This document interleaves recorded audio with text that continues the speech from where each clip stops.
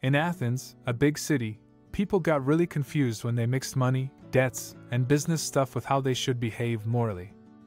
They compared life to being in debt to the gods, like an obligation, and even talked about debts of respect or honor. They even thought of debt as a bad thing and revenge as a way to collect payment, like a debt collector. But the interesting thing was, the more they tried to use money to figure out right and wrong, the more it seemed to cause problems. So, if debt was tied to being moral, it raised questions. If money, which made things seem clear and easy to measure, was fueling not so good actions, what was the real meaning of it all? This idea of deciding what's right happens a lot in philosophy, especially in Plato's famous book called The Republic. It takes place in ancient Athens around 2,500 years ago. Socrates talks with a rich friend who owns a weapons business. They talk about what justice is, and the friend thinks being able to pay debts is very important and good. But Socrates asks a tricky question. Imagine someone loans you their sword, gets very crazy, and wants it back. Would it be right to give it to them? These kind of conversations led to deep thinking about ethics, which are rules about what's right and wrong, and moral philosophy, which is the study of those ideas. Socrates' example shows how, even from simple everyday situations, philosophers can start to explore complex moral dilemmas. So, here, a man named Polemarchus was talking about a different kind of debt, not just borrowing and returning things, but about treating people fairly, being good to your friends, and not hurting your enemies. This is about justice. But Thrasymachos, a smart talker, believed that talking about justice was just a way for powerful people to control others, like a shepherd claiming to care for sheep but actually for their own benefits. Socrates saw things differently. He said that being a good ruler is like being a doctor, they help people even if they don't always get paid. Governance should be about making society fair, not just about money or power. He thought that if there's an art to being a leader, it's about bringing justice, not just benefiting themselves. Thrasymachos said that it's only because we have money that we think of power and self interest as universal goals. Socrates suggested the key was to find people who would be leaders for honor, not for personal gain. So, the debate was really about understanding the true purpose of leadership and whether justice could be a goal in itself, or just a tool for the powerful. Socrates, a famous thinker, talked about new ideas for the government. He suggested having wise leaders called philosopher kings who would help make rules. He also talked about big changes, like ending marriage, families, and having our own things. It's like he was trying to shake things up. Socrates talked about debts, first by imagining them like simple businessman's deals. Then, he thought about honor, as a more noble reason for paying debts. But he realized that in a world where money and being successful mattered a lot, it wasn't always easy to tell who was right and who was wrong. So, Socrates finally arrived at a very realistic idea that nobody truly owes anything. Maybe people should focus on making money for its own sake. But even this wasn't enough. He felt that we needed a big change to fix the confusing rules and make things make sense. Many people who considered his ideas found that while change might solve some problems, it also had risks. So we're left with a big puzzle. Do we stick with the old, messed up system or try something new without knowing if it might be even worse? This question has been with us for a very, very long time. Plato, a famous ancient thinker, once faced a difficult situation. He went on a boat trip that didn't go well, and he ended up being captured and put up for sale on Aegina. But good thing happened. A philosopher named Anniceris from Libya, who loved wisdom, found Plato and saved him. Plato felt grateful and wanted to pay him back. Plato's friends collected 20 silver minas to help with the debt.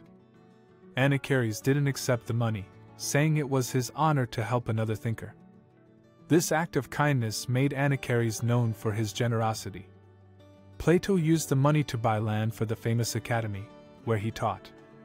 Even though Plato was successful later, he might have felt a little uneasy about how much he owed Anniceris, who wasn't even from the same country as him.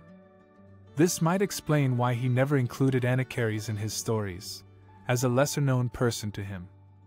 We know Anniceris only because other writers wrote about him later.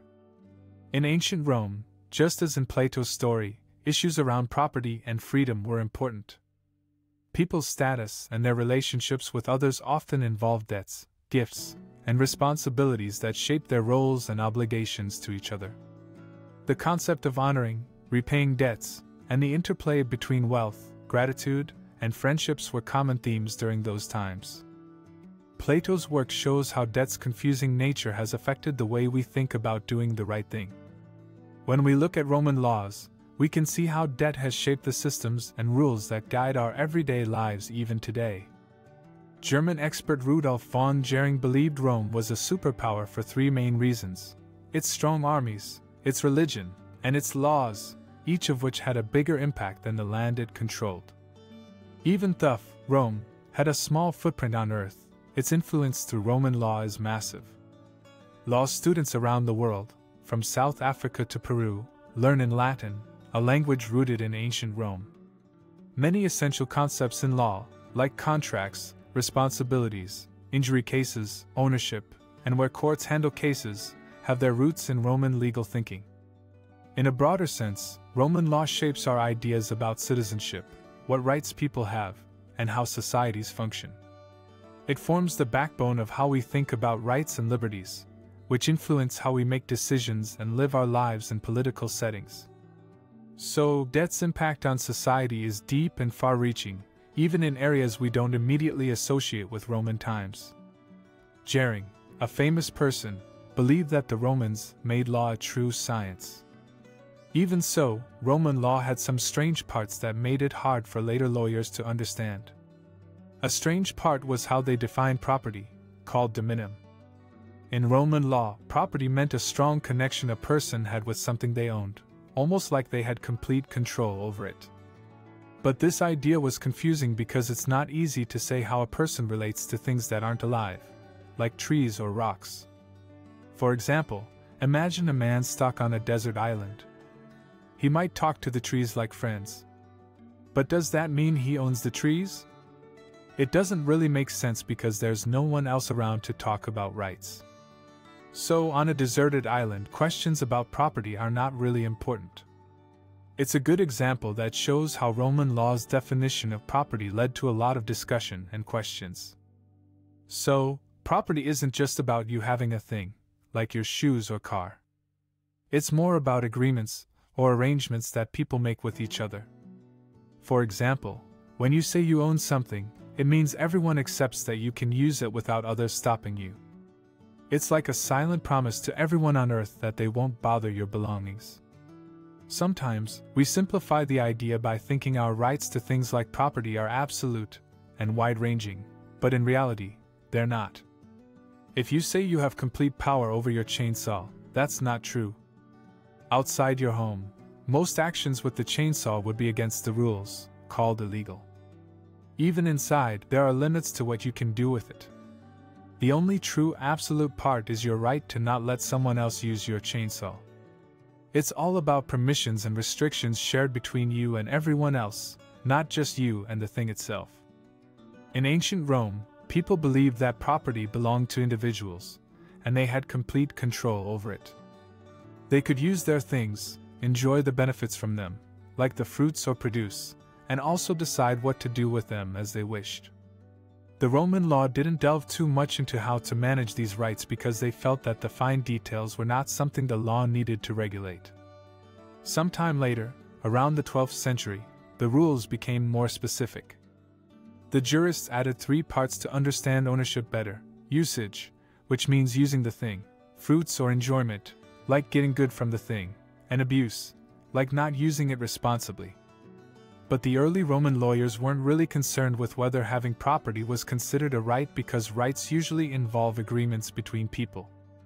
With property, it was more about someone's natural ability to use it without outside rules, as long as social rules didn't get in the way. People's power to manage their property wasn't based on making deals or promises, it was just a basic part of how the world worked at that time.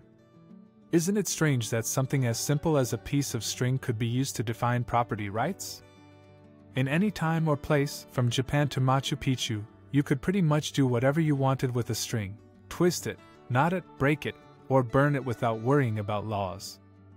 That would never be the foundation of property rights in any other legal tradition. But in our history, it's like property rights began in a big twist. Orlando Patterson, a smart thinker, believes that the idea of private property, which means complete control over things, really grew out of slavery. Think of it this way when one person owned another person, the line between the person and their belongings became blurred. The owner saw his slave not just as a human, but also like a thing, like a piece of property. In Roman law, slaves were called res, which means a thing. This explains why the focus on absolute property rights made sense, because it's rooted in a system where one person had complete power over another. It's a connection that might not be obvious at first, but makes sense when you understand the origins of how we define ownership today. The idea of having complete ownership or control over something, called dominium, wasn't always around. It started showing up in Latin language later in the Roman Republic. This was a time when many people were captured and brought to work as slaves. As Rome became a place with lots of slaves, it faced some big challenges. By around 50 BC, Romans began to think of workers, like people who picked peas on farms or brought them to markets, as if they didn't have their own freedom. These millions of people who were both human and considered property caused lots of legal problems. The Roman lawyers had to be very smart to figure out how to handle these situations. If you want to see examples of these legal issues, you can look at books written by Roman jurists, like Ulpian from the 2nd century. His writings give us a glimpse into the complex thinking they did to deal with the tricky rights and responsibilities between owners and slaves.